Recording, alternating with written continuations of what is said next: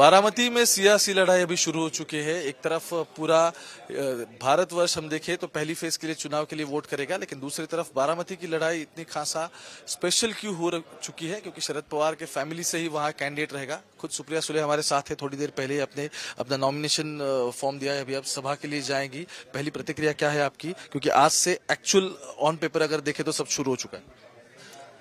ये इलेक्शन है और मेरी चौथी बार मैं फॉर्म भर रही हूँ और मैं बारामती मेरे निर्वाचन क्षेत्र के हर व्यक्ति ने जो मुझे आशीर्वाद तीन दिया, तीन बार दिया कि मैं तहे दिल से आभारी हूँ और इस बार मेरा मेरिट देख के, मेरा काम देख के, पार्लियामेंट के भी और मेरे निर्वाचन क्षेत्र में सबकी मदद से हुआ, जो विकास हम सबने मिल के एक टीम की तरह किया, वो वो सब देख के, मेरा मेरिट देख के मुझे फिर एक बार उनके पवित्र रूप में आशीर्वाद दे वोट देंगे। बारामती में दिए गए पॉलिटिकल नैरेटिव बहुत इंटरेस्टिंग है। आपको क्या लगता है कि बारामती की जो चुनावी लड़ाई है वो पवार बनाम पवार है सुले बनाम पवार है या फिर वो गांधी बनाम नरेंद्र मोदी है? मेरे लिए वो एक वैचारिक लड़ाई है। नाम सिर्फ़ भारत का है और सिर्फ़ एजेंडा भारत की सेवा है।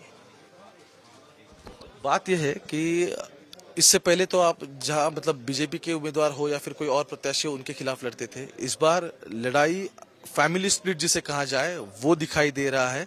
तो इसको आप किस देखते हैं? क्योंकि एक बात क्लियर है कि वहाँ से भी आपके ऊपर एलिगेशन कंटिन्यूसली चालू है। अजीत पवार खुद कह रहे हैं कि इतने साल में हुआ क्या यहाँ पे? मैं तो खुद अभी पैसे मतलब यहाँ से फंड देने के लिए तैयार हूँ। एक तो हम सबने अठारह साल जब से मैं चुन के आई, मैं, हम लोग एक साथ काम किए। और अजीत दादा तीस या thirty five years thirty five years से यहाँ से चुन के जा रहे तो हम पहले से ही साथ में काम करते आ रहे अठारह साल जब मैं यहाँ सांसद थी वो यहाँ के एमएलए रहे हैं। और काफ़ी बारामती लोकसभा में काफ़ी ऐसे एमएलए हैं जो हमारे विचार के अब तक रहे हैं। तो हर ये सब हम टीम आ, करके हम लोग काम करते थे। और मेरे ख्याल से अभी आ, आप देख रहे हैं कि मेरी लड़ाई किसी व्यक्ति से नहीं है वो वैचारिक है। और एक षडयंत्र है जो आदरणीय पवार साहब के खिलाफ ये कर रहे हैं क्योंकि बीजेपी के नेता ने ही कहा है कि हम पवार साहब को खत्म करना चाहते ये मेरे शब्द नहीं है। ये भारतीय जनता पार्टी के जो नेता है चंद्रकांत पाटिल उन्होंने कहा कि हम शरद पवार को खत्म करना चाहते तो ये विकास जिसके लिए हम लड़ रहे किसानों के लिए लड़ रहे, हम कामगार के लिए लड़ रहे, जो शोषित है, वंचित है, पीड़ित है, उसके लिए हम पूरी ताकत से लड़ रहे, लेकिन वो वहाँ से सिर्फ़ पवार साहब को खत्म करने की बात कर एक तरफ़ ये सब चल रहा है सियासी राजनीति, दूसरी तरफ़ अजित पवार जब भाषण दे रहे थे ऑल इंडिया मेडिकल काउंसिल में तो सेक्स रेशो के ऊपर बात चल रही थी और उन्होंने कहा कि ऐसा हो सकता है कि अगर महिलाओं की संख्या घट रही तो ऐसा ना हो जाए कहीं कि द्रौपदी जैसा कुछ मामला सामने आ जाए। तो क्या, किस तरह से देखते हैं आप इस बात को? क्योंकि एक महिला है और इस तरह से अजित पवार का ये सब कुछ बयान। ऐसी सब बयानों पे मैं कुछ नहीं कहूँगी। एक बारामती के बहुत इम्पोर्टेंट चीज़ है, जहाँ पे सूखा पड़ा हुआ है। बारामती लोकसभा चुनाव क्षेत्र देखे, या फिर जो बारामती सिटी जिसका डेवलपमेंट प्लान अक्सर बताया जा रहा है कि बारामती में विकास किया, जो अजित पवार खुद कह रहे हैं, सुनेत्रा पवार उसी मॉडल पे भी चुनाव सामने जा रही है। इससे पहले भी आप भी उसी को तीन बार वो चुनाव क्षेत्रों को आप लीड कर चुकी है। बारामती जो सिटी है, उसके अगल बगल में गाँव में सूखा दिख रहा है। बारामती जो चुनाव क्षेत्र है, लोकसभा, वहाँ के पुरंदर हो, या फिर, इंदापुर जैसे तहसील हो, वहाँ पे भी सूखा दिख रहा है। तो डेवलपमेंट मॉडल के ऊपर सवाल उठाए जाने, ये काफ़ी लाजमी है। नहीं, बिल्कुल, मैं तो दिसंबर से सूखे के बारे में कह रही थी। आप मेरी मीटिंग्स देखिए, मेरे खत देखिए, आप मेरे ट्वीट्स देखिए।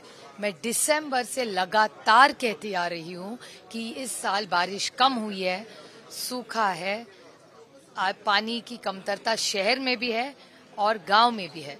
मैं दिसंबर से लगातार कहती आ रही हूँ कि पानी के मामले में सरकार ने राजनीति से हट के कुछ करना चाहिए।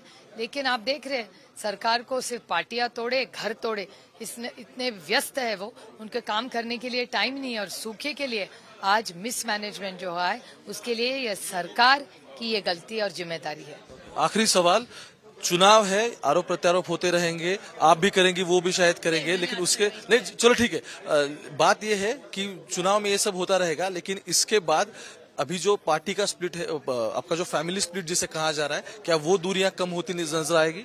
मेरे ख्याल से मेरे लिए राजनीति, मैं पहले दिन से कहती आ रही हूँ, मैं राजनीति एक तरफ़ और रिश्ते एक तरफ़, मेरे लिए पहले देश आता है, उसके बाद राज्य उसके बाद पार्टी, उसके बाद फैमिली आती है। तो मैं देश की सेवा के लिए राजनीति में आई हूँ और मेरी हमेशा कोशिश रही है कि देश के लिए और क्या मैं कर सकती हूँ, राज्य के लिए मैं क्या कर सकती हूँ, पार्टी में कार्यकर्ता के तौर पे क्या कर सकती हूँ।